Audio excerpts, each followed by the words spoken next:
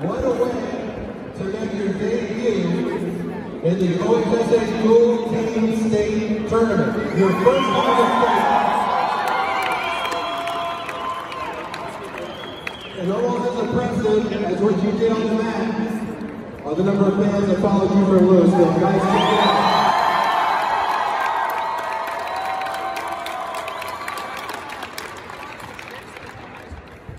Coach Stanley, you've been building this program for Coach Laughlin. Coach Laughlin, you've been building this team for a while. I don't think that this is going to be your guys' last time wrestling on Sunday night here at the state tournament.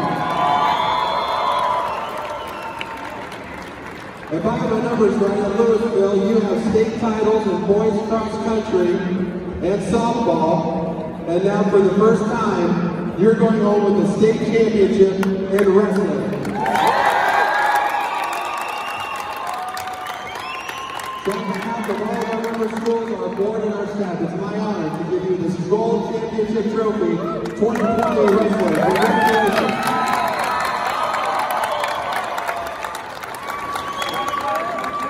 There it is, Louisville, your champs in D2.